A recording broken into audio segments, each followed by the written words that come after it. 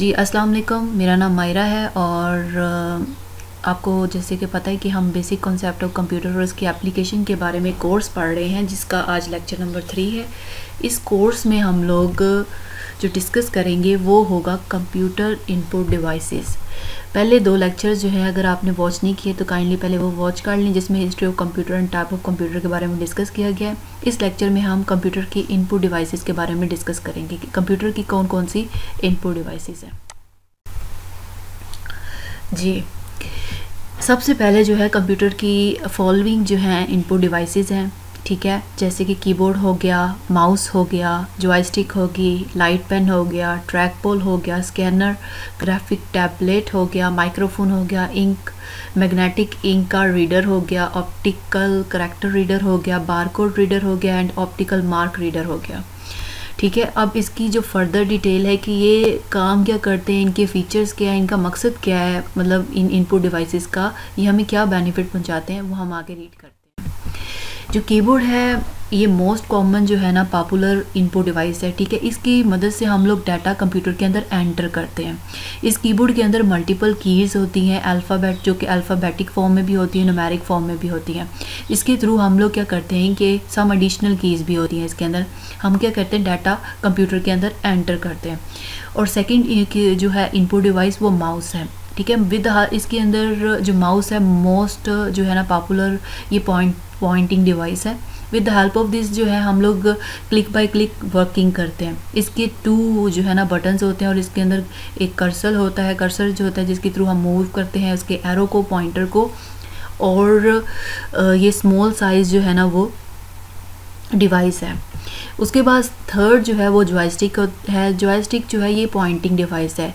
इससे क्या होता है कि इसके ऊपर एक बॉल लगा होता है, ठीक है? सफेरिकल जो बॉल होता है वो लगा होता है। ये बोथ साइड लोअर और एंड जो है ना अपर साइड पे, दोनों साइड पे ये बॉल होता है। और इस बॉल को हम लोग क्या करते हैं? मूव करते हैं। मूव मतलब इन फोर डायरेक्शन के अंदर इसको मूव किया जाता है। लाइट पेन होता है। लाइट पेन जो है वो भी एक इनपुट डिवाइस है। लाइट पेन जो है सिमिलर टू पेन की तरह होता है। इससे क्या होता है कि हम लोग आ, कोई चीज़ ड्रॉ कर सकते हैं आइटम ड्रॉ कर सकते हैं पिक्चर ड्रॉ कर सकते हैं मोनीटर के ऊपर। ये it consist of photo cell and an optical system placed in a small tube के अंदर इसको ये होता है। ठीक है? जो ट्रैक बॉल होता है ट्रैक बॉल भी एक इनपुट डिवाइस है, ठीक है? ये मोस्टली यूज़ इन नोटबुक और लैपटॉप कंप्यूटर के अंदर जो है ना यूज़ किया जाता है। माउस के जो है ना माउस के अलावा हम इसको यूज़ करते हैं। इससे क्या होता है कि हम फिंगर के थ्रू जो है, उसकी मूवमेंट करते हैं और कर्सर जो है वो मूव करता है जिधर हम उसको लेके जाते हैं। स्कैनर स्कैनर भी एक इनपुट डिवाइस है, जिससे ये होता है कि हम फोटोकॉपी जो है ना मशीन मोर लाइक ये एक तरह की फ़ोटोकॉपी मशीन होती है। ये क्या करता है कि इंस्ट्रक्शन को या इंफॉर्मेशन को अवेलेबल करता है पेपर के ऊपर, यानी कोई डाटा जो है लिखा हुआ है इंस्ट्रक्शन इनपुट जो है इंस्ट्रक्शन लिखी हुई है, और वो क्या करता है, उसको स्कैन करके उसको ट्रांसफ़र करता है पेपर के ऊपर। और माइक्रो प्रोसेसर जो है, ये भी एक इनपुट डिवाइस है।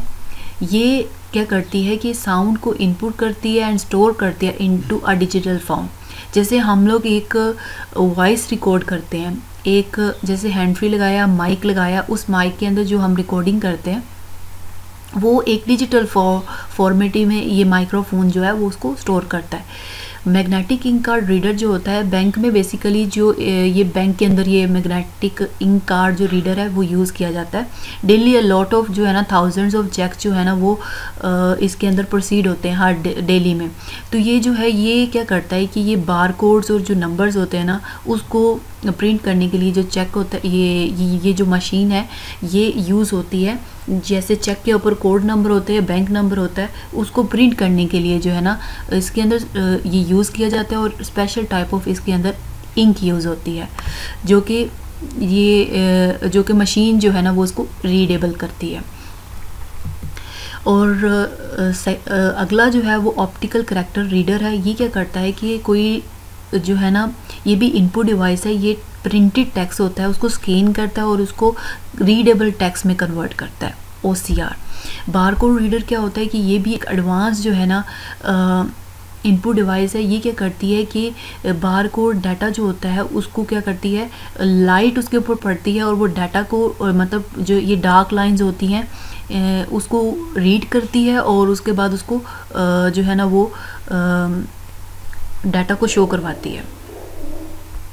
और ऑप्टिकल मार्क रीडर जो होता है, ये special type of optical scanner use to recognise the type of mark made by the pen और पेंसिल ये क्या करती है कि ये मार्क रीडर है, ये जितने भी स्मॉल जो होंगे मार्क्स होंगे, ये उसको रिकोगनाइज करती है, उसको आइडेंटिफाई करती है, जो कि पेन और पेंसिल से किए जाते हैं।